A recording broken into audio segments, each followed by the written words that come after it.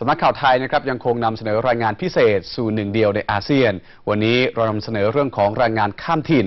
หลังจากมีการเปิดประชาคมอาเซียนอย่างเป็นทางการนะครับเราจะไปดูกันว่าพื้นที่ภาคเหนือ ซึ่งมีแรงงานชาวเมียนมาอยู่จำนวนมาก จะได้รับผลกระทบอย่างไรกันบ้าง ติดตามจากคุณประภาพันธ์หลอมศรีครับด่านพรมแดนไทยเมียนมาด้านอำเภอแม่สอดจังหวัดตาก และอำเภอแม่สายจังหวัดเชียงรายขลาคล่ำไปด้วยแรงงานชาวเมียนมาที่เดินทางข้ามมายังฝั่งไทยอย่างไม่ขาดสาย ไทยเป็นจุดหมายปลายทางหลักของแรงงานเหล่านี้ แต่ละปีมีแรงงานจากเมียนมาผ่านด่านพรมแดนทางภาคเหนือเข้ามากว่า 1 0 0 0 0แสนคน ส่วนใหญ่เป็นแรงงานระดับล่างซึ่งกระจายอยู่ในภาคเกษตร บริการและงานก่อสร้าง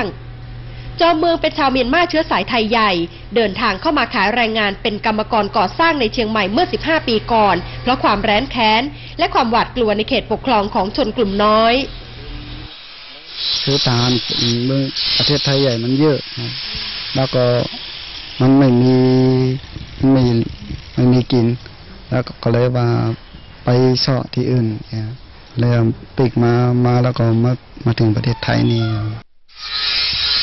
หลังการเปิดประชาคมอาเซียนหรือ AC จะมีผลให้เกิดการเคลื่อนย้ายแรงงานในกลุ่มประเทศอาเซียนอย่างเสรี แต่สำหรับพื้นที่ภาคเหนือนั้นนักวิชาการด้านแรงงานข้ามชาติ มองว่าไม่มีผลกระทบต่อชาวเมียนมากลุ่มใหญ่ที่ต้องการจะเข้ามาขายแรงงานในไทยค่ะ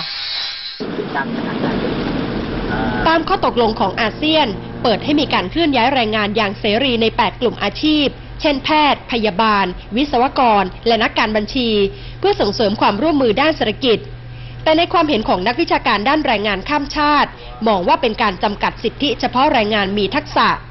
ส่วนปัจจัยที่จะทำให้แรงงานไร้ฝีมือกลุ่มใหญ่จากเมียนมาทะลักเข้าไทย ขึ้นอยู่กับความไม่มีเสถียรภาพในเมียนมา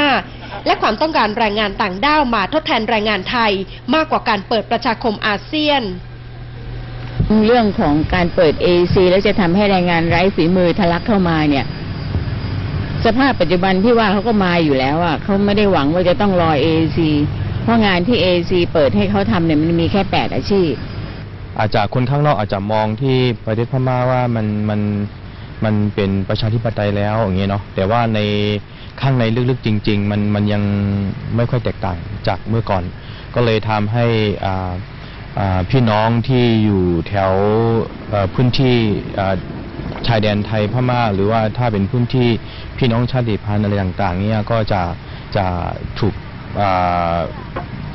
จะถูกละเมิดสิทธิอะไรต่างๆ ไม่มีงานทำไม่มีอะไรก็ก็มีเข้ามาอยู่เรื่อยๆแต่ในหลาย ก็ยังมีอีกหลายนักวิชาการด้านแรงงานข้ามชาติ อย่างวิเคราะห์ว่าหลังการเปิดอาเซียน จะมีแรงงานวิชาชีพจากเมียนมาเข้ามาทำงานในไทยเพียงส่วนน้อย เมื่อเทียบกับแรงงานไร้ฝีมือ ซึ่งยังจะทยอยเข้ามาขายแรงงานอย่างต่อเนื่อง ทั้งที่เข้ามาอย่างถูกต้องตามกฎหมาย และลักลอบเข้าเมือง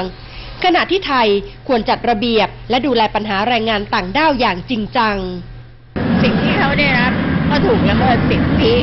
ด้านแรงงาน ด้านการคุ้มครองแรงงาน ด้านการด้านสุขภาพ ด้านความมั่นคงในการทำงานของเขา เพราะกฎหมายคุ้มครองแรงงานที่มีอยู่ในปัจจุบันนั้นเนี่ยมันมันถูกเลือกปฏิบัติกับคนคนงานไทยกับคนงานข้ามชาติ นอกจากนี้ยังเสนอให้อาเซียน เปิดกว้างให้แรงงานทุกอาชีพ ทำงานในกลุ่มประเทศสมาชิกได้อย่างเสรี ไม่กีดกันหรือจำกัดเฉพาะกลุ่มวิชาชีพใดวิชาชีพหนึ่ง เพื่อช่วยขับเคลื่อนให้เศรษฐกิจของอาเซียน เติบโตอย่างมั่นคงไปพร้อมกัน ประภาพลอมศรีสำนักข่าวไทยอสมท